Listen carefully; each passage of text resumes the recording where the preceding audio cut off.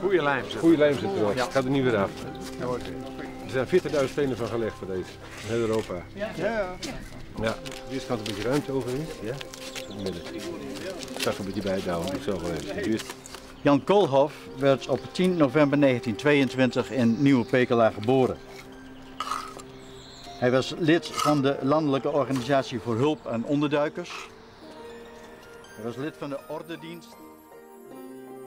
Kijk, die. Dit zijn de broers. Ja, dat zijn de broers. Wat is uw vader? Deze. En dat is eh, Jan. Was Jan de jongste? Ja, mijn vader was de oudste. Ja. Het heeft zijn leven en mijn moeders leven heel erg bepaald. Zal ik u vertellen, toen hij een- zijn laatste jaar, toen ging het dus helemaal niet goed met hem. En toen moest ik met hem naar een geriater. En die mevrouw die vroeg van hoeveel kinderen hebt u? En toen zei hij vier. En één hebben ze vermoord, vermoord. En zo zat hij. Dat ik schrok zo. Ik zei, dat is zijn broer. Dus zo zat dat. En dan is die, was die 89, of 88, 89.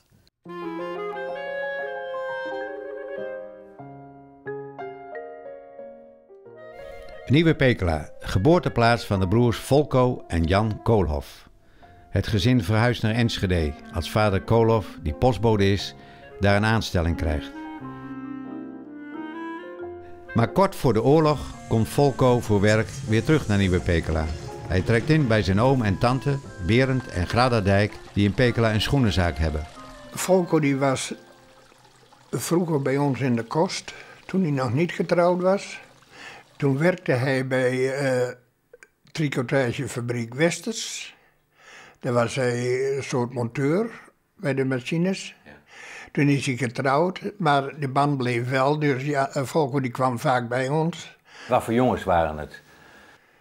Spontane jongens. Allemaal eh, energie. En eh, ja, ze konden alles doen, hè. Ze waren niet bang. Ze waren niet bang, nee. Nee. En helemaal om, om tegen de vijand te vechten, dat, dat, was, eh, dat, dat hoorde zo, want je verdedigt Nederland. Hè? Ze waren in die tijd eh, heel erg bijbelgericht. Dus heel erg met het geloof bezig. En van daaruit was denk ik ook zijn beleving naar eh, de, de bezetter. Kijk, dat is zo'n oorlog. Kijk, door de Duitsers verspreide opsporingsfoto Van wie is die? van mijn vader.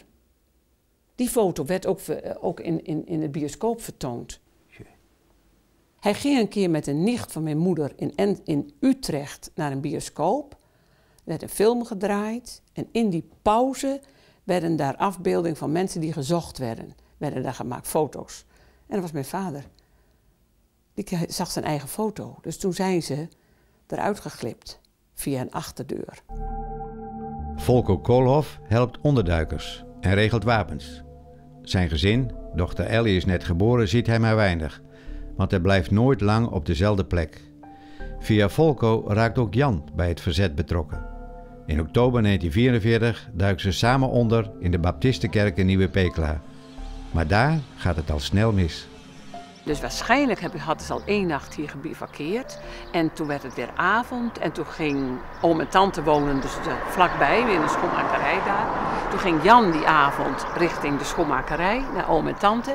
En mijn vader, die ging met de dominee in discussie, zoals hij vaker deed met Ja. mensen om over het eh, geloof te praten. En zo, dus die zat hier.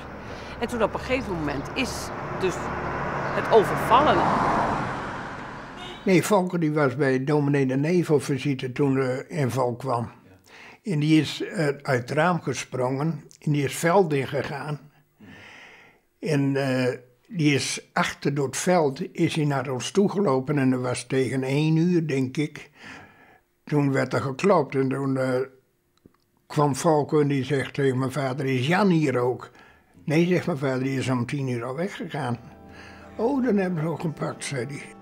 Jan loopt rechtstreeks in de armen van een groep postende landwachters, die bij het doorzoeken van de kerk een pistool hebben gevonden. Hij wordt gearresteerd, maar niet alleen hij, ook koster Harm van der Laan wordt opgepakt. In de kerk ontmoeten wij zijn kleinzoon en zijn neef, die nu koster is. Hij laat de kelder zien waar de broers Koloff ondergedoken zaten. En zie je nou, zo hoor ik maar dat is al uh, nog een nat hoor. Maar dit was de ruimte waar ze ondergedoken Ja. Kijk, dit is, uh, en dat is de nooduitgang door. Uh, Daar bij de... daar wordt een loopje voor. Dat is de nooduitgang. Ja. Wist u oom dat ze hier zaten? Dat dacht ik niet, ik weet niet. Maar zolang er is al geen kust geweest. Maar waarom hebben ze hem oppakt dan? Ja, hij was kuster van het kerken. Dus En dominee de Leef hebben ze ook meegenomen. Ja. En dominee de Leef, die is naar Duitsland gebracht. Ja, En eh, die andere nooit. Ze hebben hem meegenomen. Voor zover ik gehoord heb, hebben ze hem meegenomen en later op de Onsverderweg doodgeschoten. Was de volgende dag, denk ik. De volgende dag, dat kan. Ja, ja. En dat hij eerst nog verhoord is in eh, het Wevershuis. Maar zonder proces terechtgesteld. Ja. Het heette officieel zelfs op de vlucht. Harm van der Laan en Jan Koloff worden langs de kant van de weg doodgeschoten. Maar eerst worden ze in het notaris Weverhuis nog verhoord door de SD'er Leenhof. Hij mishandelt de gevangenen op brute wijze. Maar Jan heeft niets, maar dan ook niets willen loslaten. Als gevolg van deze hardnekkige houding van Jan Koolhof is de verzetsbeweging te Nieuwe Pekela ongetwijfeld voor zeer grote ramp bewaard. Namens de voormalige verzetsbeweging in de gemeente Nieuwe Pekela. Maar ze hebben wel bij ons thuis een lijst gevonden met namen die allemaal een kaartje kregen omdat ik geboren was in januari. Dat hadden ze moeten vernietigen, maar het- ja, daar kwamen ze te laat achter. En de mensen in Nieuw-Pekela, dus familieleden en vrienden, zijn opgepakt en allemaal verhoord. Toen werd het huis doorzocht, mijn slaapkamer. Ja, en wat komt er dan? Hè? Nemen ze je vader eh, mee of niet? Hebben ze uw vader meegenomen? Toen niet. Maar na die tijd hebben ze hem wel opgepakt. Er was een na die tijd, geloof ik, hebben ze hem opgehaald en is hij in het Scholtenhuis in Groningen gekomen. En wat is er met hem gebeurd? Nou, dat mochten wij niet weten en dat mochten we ook niet zien. Toen hij thuis kwam na 14 dagen. Want hij was bont en blauw.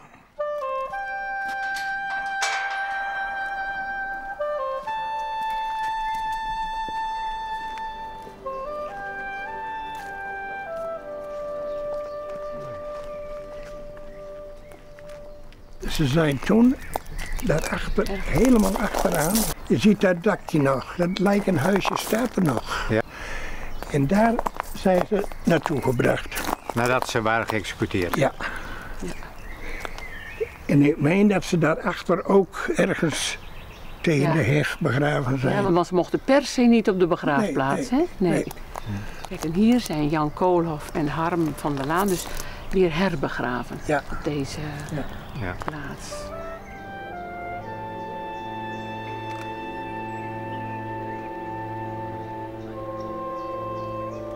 De familie krijgt nog een klap te verwerken. Gerards broer Pieter Dijk, die is opgepakt omdat hij niet in Duitsland wilde werken, komt om in Dachau. Op de familiefoto in 1948, gemaakt ter gelegenheid van het 25-jarig huwelijksfeest van Berend en Grada Dijk, mochten Pieter en Jan niet ontbreken. Ja, je bent er nog steeds mee bezig.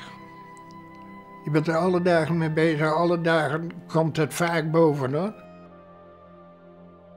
Naderhand ben ik overspannen geworden. Dat is, dat is nou, eh, dat was in 86. En als ik dan alles overdenk, is het daarop begonnen. Spanning, spanning. Hè? En dat komt er dan uit. Wat voor spanning was dat? Ja, je, je werd eh, gedwongen om, om stil te houden en eh, te luisteren wat, wat ouders zeggen, dat moest je doen. En wat anders kwam er, kon er voor gevaar komen. En uw vader ontsprong de dans.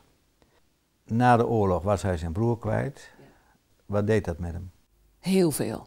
Hij heeft altijd heel erg schuldgevoel daarover gehad.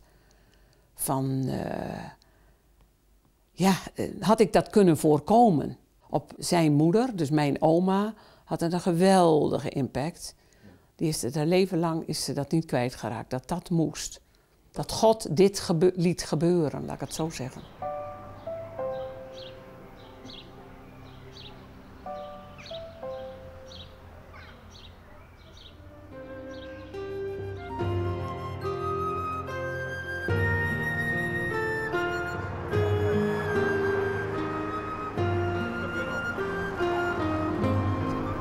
heb ik dan een mooie inleg toch niet? Ja, heel, ja, heel, heel, heel, heel, heel, heel,